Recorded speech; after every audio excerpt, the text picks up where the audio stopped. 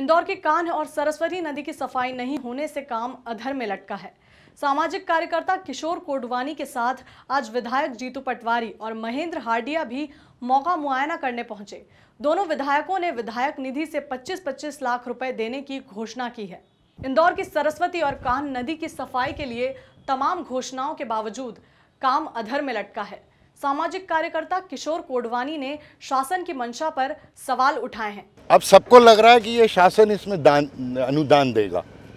तो सब जपने की फिराक में है। किसी को ये समझ में नहीं आ रहा है कि 20 दिन 25 दिन कुल बारिश के बचे बारिश उनके मर्ज़ी से स्टे नहीं लेके आएगी।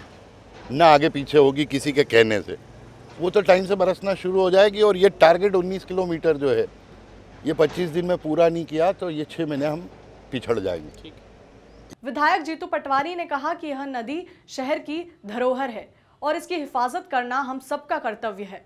इस मौके पर उन्होंने 25 लाख रुपए देने की घोषणा की। जहाँ तक विधायक निधि का प्रश्न है ये जनता की होती है जनता के लिए होती है। तो चूँकि ये काम भी स्वास्थ्य से जुड़ा हुआ है ये पर्यावरण से जुड़ा हुआ है ये काम जीवन स्तर के साथ साथ एक भावनात्मक प्रकृति से जुड़ा हुआ है। तो विधायक निधि उसमें लगनी चाहिए, अधिकार है। मैंने उसकी स्वीकृति दी है। साथ ही श्रमदान में भी हम एक जन भावना बनाने की कोशिश कर रहे हैं कि हम इसमें सहयोग करें।